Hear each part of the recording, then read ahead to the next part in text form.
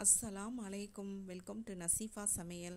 ரமலான் எல்லாருக்கும் எப்படி போய்கிட்டு இருக்கு அல்ஹம்துலில்லாஹ் எங்களுக்கு நல்லபடியாக போய்கிட்டு இருக்கு இன்றைக்கி வந்து ரமலானுக்கு வந்து நம்ம இப்தார் ரெசிபி கம்மியான நேரத்தில் வீட்டில் வச்சுருக்க பொருளை வச்சு எப்படி செய்ய போகிறோம் தான் இன்றைக்கி நம்ம வீடியோவில் பார்க்க போகிறோம் இப்போ வந்து நான் ஃபஸ்ட்டு வந்து பாதாம் பிசினும் சப்சாவதையும் நான் தண்ணி ஊற்றி நல்லா ஊற வச்சுக்கிறேன். இப்தார் ரெசிபிக்கு பாருங்கள் அதுதான் நமக்கு ரொம்ப மெயினாக வேணும். அதனால் ஊற வச்சு நம்ம எடுத்துக்கலாம் அதுக்கடுத்து வந்து நான் கெட்டியான பால் அரை லிட்டர் பால் எடுத்து நான் இன்றைக்கி வந்து கேரமல் புட்டிங் தான் ரெடிமேட் கேரமல் புட்டிங் தான் இன்றைக்கி செய்ய போகிறேன் அஞ்சு நிமிஷம் இப்போ நம்ம வந்து பாலை நல்லா காய்ச்சி எடுத்துகிட்டு இப்போ வந்து நம்ம புட்டிங் பவுடர் எடுத்து நம்ம கொஞ்சம் கொஞ்சமாக போட்டுக்கிறலாம். சிம்மில் வச்சுட்டு கட்டி இல்லாமல் நல்லா கரைச்சி எடுத்துக்கிறலாம். எடுத்தோம்னா நமக்கு இதெல்லாம் ஒரு அஞ்சு நிமிஷம் வேலை தான். கொஞ்சம் ஈஸியாக முடிஞ்சிருச்சுன்னா இதெல்லாம் நம்ம செட் பண்ணி வைக்கிறோம் செட் பண்ணி வச்சிட்டோம்னாக்கா அடுத்து நமக்கு மற்ற வேலை பார்க்குறதுக்கு ரொம்ப ஈஸியாக இருக்கும். இப்போ கேரமல் எடுத்து நம்ம ஊற்றிக்கிறலாம் ரெண்டு கிண்ணத்தில் நான் மாற்றி ஊற்றிக்கிறேன் ஊற்றிட்டு நமக்கு அதுக்கடுத்து நம்ம காய்ச்சி வச்சுருக்க நம்மளுடைய புட்டிங் பால் எடுத்து நம்ம அதில் ஊற்றிக்கிறலாம் ஊற்றிட்டு இது வந்து செட் ஆகிறதுக்கு எப்படி ஒரு நாலு மணி நேரம் ஆகும்? கொஞ்சம் நேரம் ஆற வச்சுட்டு அப்புறம் ஃப்ரிட்ஜில் தூக்கி வச்சு நம்ம சாப்பிட்றப்ப ஜில்லுன்றக்கும் இத்தனை நேரம் எடுத்து வச்சுக்கிறலாம். அதே மாதிரி இந்த சைடு வந்து நான் வந்து ரெடிமேட் ஜெல்லி தான் செய்கிறேன் நான். இன்றைக்கி பச்சை கலர் எடுத்திருக்கேன். இது வந்து நான் வந்து நூறு கிராம் அளவுக்கு எடுத்திருக்கேன். அதுக்கு வந்து கால் லிட்டர் அளவுக்கு சுடுதண்ணி எடுத்து நம்ம ரெண்டு பகுதியாக பிரித்து நல்லா கரைச்சி எடுத்துக்கரலாம் இது செட் ஆகிறதுக்கு எப்படி நமக்கு மூணு மணி நேரம் ஆகும். இதையும் ஊற்றி நம்ம ஒரு பாத்திரத்தில் ஊற்றி நம்ம செட் ஆக்கி வச்சுக்கிறலாம். இந்த சைடு வந்து ஒரு நாலு ஸ்பூன் அளவுக்கு நான் பால் எடுத்திருக்கேன். எட்டு பாதாமல் ஒரு பத்து முந்திரியும் பத்து திராட்சையும் எடுத்துகிட்டு மூணு வந்து நம்ம பேர்ச்சம்பளம் எடுத்து நம்ம ஊற வச்சுக்கிறலாம். இது ஊறி ஒரு அஞ்சு நிமிஷம் ஊறி நம்ம அரைக்கையில் வந்து நல்ல ஜூஸ் வந்து நல்லா நமக்கு நல்லா கிருமியாக நல்லா இருக்கும். இப்போ இதை எடுத்து நம்ம இந்த பக்கம் வச்சுட்டு இப்போ நம்ம அஞ்சு நிமிஷம் ஆயிடுச்சு மிக்சி ஜாரில் எடுத்து நம்ம போட்டுக்கரலாம். போட்டுட்டு எல்லாத்துக்கும் பாருங்கள் இப்போ மாம்பழம் சீசன் வந்துடுச்சு பார்த்தீங்களா அதனால் நம்ம மாம்பழம் போட்டு இன்றைக்கி நம்ம சூப்பரான ஒரு ஜூஸ் தான் இன்றைக்கி பண்ண போகிறோம் அரை கப் அளவுக்கு நான் மாம்பழம் எடுத்திருக்கேன். எடுத்து போட்டு சாக்கெட் பண்ணி போட்டுக்கரலாம். நாலு ஸ்பூன் அளவுக்கு ஜீனி போட்டுட்டு நல்லா இதை வந்து நைஸாக அரைச்சி எடுத்துக்கரலாம்.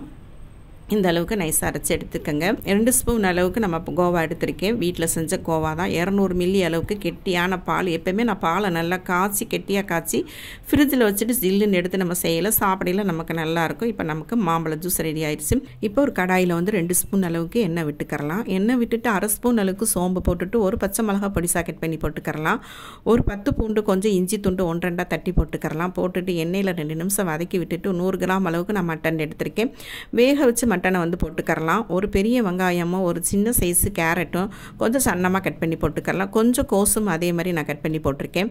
எல்லாத்தையும் நல்லா ஒரு ரெண்டு நிமிஷம் நல்லா நம்ம வந்து அந்த எண்ணெயில் வதக்கி விட்டுக்கரலாம். வதக்கி விட்டுட்டு அரை ஸ்பூன் அளவுக்கு சில்லி பிளேக்ஸ் போட்டுக்கலாம் அரை ஸ்பூன் அளவுக்கு மிளகுத்தூள் போட்டுக்கலாம் கால் ஸ்பூன் அளவுக்கு மஞ்சத்தூள் போட்டுட்டு கால் ஸ்பூன் அளவுக்கு சோம்புத்தூள் கால் ஸ்பூன் அளவுக்கு சீரகத்தூள் போட்டுக்கலாம் அரை ஸ்பூன் அளவுக்கு கரம் மசாலா போட்டுட்டு அரை ஸ்பூன் அளவுக்கு மல்லித்தூள் போட்டுட்டு தேவையான அளவுக்கு சால்ட்டு போட்டுட்டு நல்லா கலந்து விட்டுக்கலாம் ரெண்டு நிமிஷம் வதக்கி விட்டுட்டு ஒரு ஸ்பூன் அளவுக்கு தக்காளி சாஸ் போட்டுக்கரலாம் போட்டுட்டு திருப்பி நல்லா வதக்கி விட்டுட்டு நம்ம வந்து கொஞ்சம் லாஸ்ட்டில் வந்து சீஸ் கொஞ்சம் துருவி போட்டுக்கரலாம் இப்படி ஸ்டப்பிங் செஞ்சு வச்சிட்டோம்னாக்க இன்றைக்கி வந்து நான் வந்து ரெண்டு ரெசிபி தான் செய்ய போகிறேன் நீங்கள் ஸ்கிப் பண்ணாமல் தொடர்ந்து பாருங்கள் எப்படி செய்கிறாங்கன்னு உங்களுக்கு அப்போ தான் தெரியும். இரநூறு கிராம் அளவுக்கு நான் மைதா மாவு எடுத்திருக்கேன். தேவையான அளவுக்கு சால்ட் போட்டுட்டு கொஞ்சம் நம்ம வந்து ஆப்ப சோடா போட்டுட்டு கொஞ்சம் கொஞ்சமாக தண்ணி விட்டுட்டு நம்ம சப்பாத்தி மாவு எப்படி பண்ணுவோமோ அதே மாதிரி கொஞ்சம் கெட்டியாக நல்லா பிணைஞ்சிக்கிறலாம். மாவு பிணைஞ்சிட்டு லாஸ்ட்டில் ஒரு ஸ்பூன் அளவுக்கு எண்ணெய் விட்டுட்டு அப்போ தான் நமக்கு உணராமல் நல்லாயிருக்கும் இரு இருபது நிமிஷம் நமக்கு மாவு ஊறுனா போதும். இப்போ மணி பாருங்கள் மூணு மணி ஆயிடுச்சு. இதெல்லாம் செஞ்சு நமக்கு செட் பண்ணி வச்சிட்டோம்னாக்கா அடுத்து செய்கிறதுக்கு ரொம்ப ஈஸியாக இருக்கும். இங்கிட்ட வந்து பால் வந்து காஞ்சிட்ருக்கு. இப்போ நேரம் அடுத்து வந்து நமக்கு வந்து பால் மலை இதெல்லாம் நமக்கு செய்கிறதுக்கு கரெக்டாக இருக்கும். இப்போ நான் அரை லிட்டர் அளவுக்கு நான் பால் கெட்டியான பால் ஜில்லு இந்த பால் எடுத்திருக்கேன் நான். வீட்டில் செஞ்ச ரோஸ் சிரப்பு மூணு ஸ்பூன் அளவுக்கு ஊற்றிக்கிறலாம் ஊற்றி நல்லா இப்போ கலந்து விட்டுக்கரலாம் இந்த ரோஸ் சிரப்பு வந்து வீட்டிலே செஞ்சது தான். நான் இந்த ரெசிபி நான் ஏற்கனவே நாங்கள் வீடியோவில் போட்டிருக்கோம். இப்போ வந்து நமக்கு ஜெல்லி வந்து செட் ஆகிடுச்சு சின்ன சின்ன பீஸாக வந்து இதே மாதிரி கட் பண்ணி அதில் போட்டுக்கரலாம் போட்டுட்டு அதுக்கடுத்து வந்து நான் ஐம்பது மில்லி அளவுக்கு வந்து மில்க் மேட் ஊற்றிருக்கேன் அதையும் ஊற்றி நம்ம கலந்து விட்டுக்கரலாம் இப்போ சப்சா விதை நமக்கு இந்த பாதாம் பிசின்டே பாருங்கள் இந்த இப்தார் நேரம் வந்து சாப்பிட்றதுக்கு ரொம்ப குளிர்ச்சியாகவும் நல்லாயிருக்கும் அதனால் இதை வந்து எப்பயுமே நம்ம வந்து ஒரு டப்பால் நம்ம ஊற வச்சு நம்ம வச்சுக்கிட்டோம்னாக்க நமக்கு இந்த நேரம் இப்தார் நேரம் செய்கிறதுக்கு ரொம்ப ஈஸியாக இருக்கும். இப்போ மூணு ஸ்பூன் அளவுக்கு சப்சா விதை போட்டுட்டு ஒரு ஸ்பூன் அளவுக்கு பாதாம் பிசின் போட்டு நல்லா கலந்து விட்டுக்கரலாம் கலந்து விட்டு அப்போ நமக்கு ரோஸ் மில்க் வந்து சூப்பராக ரெடி ஆயிடுச்சு இதே மாதிரி இந்த வேலையெல்லாம் நான் வந்து பாருங்கள் நானாக பார்க்குற பார்க்குறதில்ல. என் பொண்ணுகளும் சேர்ந்து வந்து அவங்களாம் ஹெல்ப் பண்ணனால தான் இவ்வளோ என்னால் செய்ய முடியுது. இப்போ இரநூறு மில்லி அளவுக்கு நான் பால் எடுத்திருக்கேன். ஒரு ஸ்பூன் அளவுக்கு கஸ்டர்ட் பவுடர் எடுத்துகிட்டு அதில் ரெண்டு ஸ்பூன் அளவுக்கு பால் விட்டு நல்லா கட்டி இல்லாமல் கரைச்சி எடுத்துக்கிறலாம். எடுத்துகிட்டு இப்போ நம்ம வந்து சிம்மில் வச்சுட்டு நம்ம இந்த கஸ்டர்ட் பவுடரை வந்து ஊற்றிக்கிறலாம் ஊற்றிட்டு நல்லா நம்ம வந்து கரண்டியால் நல்லா கட்டி இல்லாமல் கரைச்சி எடுத்துகிட்டு ஒரு நாலு ஸ்பூன் அளவுக்கு சுகர் எடுத்து போட்டுக்கிறலாம்.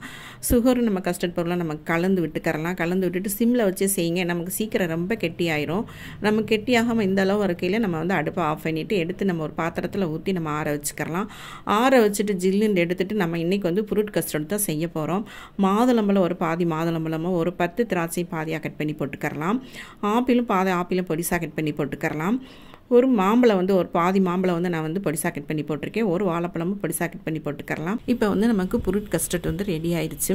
இது செஞ்சு வந்து இப்போ நம்ம ஃப்ரிட்ஜில் தூக்கி வச்சுட்டு இப்தா நேரம் வந்து சாப்பிடையில வந்து நமக்கு ரொம்ப ஜில்லுன்னு நல்லா இருக்கும். இதே மாதிரி போன ரமலான்லாம் பாருங்கள் நாங்கள் வந்து இப்தா ரெசிபி வந்து நிறையா செஞ்சுருந்தோம். எபிசோடு மாதிரி போட்டிருந்தோம். அதை பார்க்காதவங்களுக்கு எல்லா வீடியோட லிங்க்கும் நாங்கள் கீழே கொடுத்துருக்கோம். நீங்கள் கீழே போய் செக் பண்ணி பாருங்கள் இப்போ நமக்கு செட் ஆயிடுச்சு. எடுத்து வச்சுட்டு அதுக்கடுத்து வந்து நான் மூணு பிரெட் எடுத்திருக்கேன். இப்போ நம்ம எடுத்து வச்சுருக்க மூணு பிரெட்லேயுமே இந்த கிளாஸில் வந்து நல்ல பெரிய சைஸில் ரவுண்டாக கட் பண்ணி எடுத்துக்கிறலாம். இந்த சைடு வந்து மூணு பிரெட் எடுத்திருக்கேன்.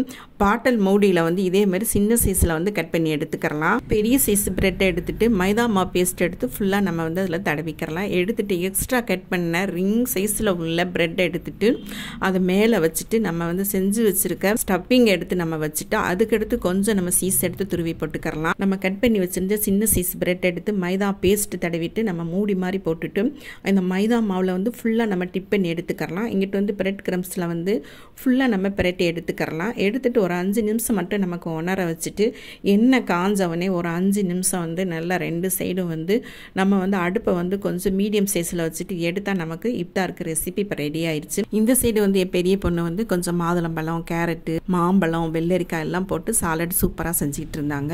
நூறு மில்லி அளவுக்கு தயிர் விட்டு கொஞ்சம் சால்ட்டும் கொஞ்சம் பெப்பரும் போட்டுட்டா நமக்கு சூப்பராக சாலட் வந்து ரொம்ப நல்லா இருந்துச்சு.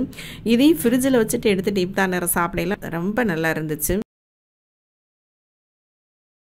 இந்த சைடு வந்து டேங்க் ஜூஸ் கலந்துக்கிட்டு இருந்தாங்க. என் குட்டி பொண்ணுக்கு பாருங்கள் நோம் திறந்தோடனே அந்த டேங்க் ஜூஸ் இருந்தால் தான் ரொம்ப பிடிக்கும் அவங்களுக்கு.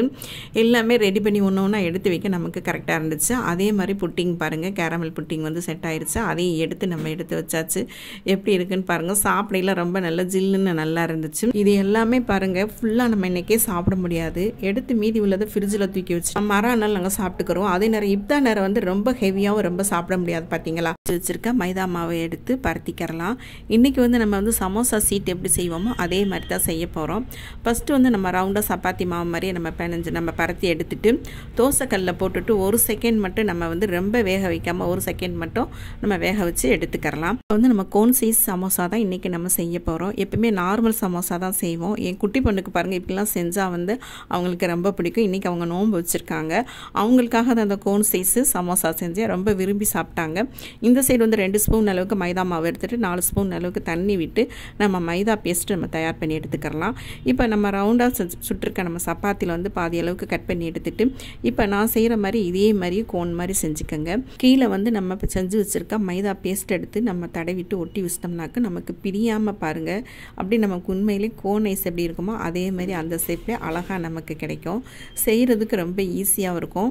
இப்போ அதில் வந்து நம்ம செஞ்சு வச்சுருக்க ஸ்டப்பிங் எடுத்து வச்சுக்கலாம் இப்போ நான் ஸ்டப்பிங் பாருங்கள் நான் ஒன்று தான் செஞ்சேன். ஆனால் அதை பாருங்கள் நான் ரெண்டு ரெசிபிக்கு வந்து யூஸ் பண்ணிக்கிட்டேன். மேலே வந்து கொஞ்சம் நம்ம வந்து மைதா பேஸ்ட்டு தடவிட்டு நல்லா சாஃப்டான சேமியாவில் வந்து இதே மாதிரி மைதா பேஸ்ட்டு தடவுனது நம்ம தடவுனோம்னாக்க நல்லா ஒட்டிக்கிறோம். சாப்பிடல பாருங்கள் அவ்வளோ ஒரு டேஸ்ட்டாகவும் நல்லா மொறு மொறுன்னு ரொம்ப நல்லா இருந்துச்சு. இதே மாதிரி எல்லாமே நம்ம செஞ்சு எடுத்து வச்சுக்கிறலாம். இப்போ செஞ்சிட்டோம். அதுக்கடுத்து நம்ம எண்ணெய் ஊற்றிட்டு அதே மாதிரி இதையும் வந்து கொஞ்சம் மீடியம் சைஸில் வச்சுக்கோங்க. வச்சுட்டு நம்ம அஞ்சு நிமிஷம் வந்து பொறுமையாக ரெண்டு சைடு நல்லா அந்த இதே மாதிரி முருகலாக செஞ்சு எடுத்துக்கிறலாம். நமக்கு அவ்வளோதாங்க கோனை சமோசா ரெடி ஆயிடுச்சு. உங்கள் வீட்லேயும் உங்கள் குட்டி சேலுக்கு செஞ்சு கொடுங்க. ரொம்ப விரும்பி சாப்பிடுவாங்க. எப்படி சாப்பிட்டாங்கங்கிறது எங்களுக்கு கமானில் வந்து சொல்ல மறந்துடாதீங்க. அலமதுல்லா எல்லாமே முடிஞ்சிருச்சு. இப்போ இப்தார் டைம் நெருங்கிருச்சு. எல்லாமே செஞ்சு வச்சாச்சு. அது என் குட்டி பொண்ணுக்கு ரொம்ப சந்தோஷம். அவங்களுக்கு பிடிச்சமானதெல்லாம் செஞ்சு வச்சதில். இதே மாதிரி நீங்களும் செஞ்சு சாப்பிட்டு எப்படி எங்கன்னு கமெண்ட் பண்ணுங்கள் எங்களுக்கு நீங்கள் துவா செய்யுங்க. உங்களுக்கு நாங்கள் துவா செய்கிறோம் மீண்டும் அடுத்த வீட்டு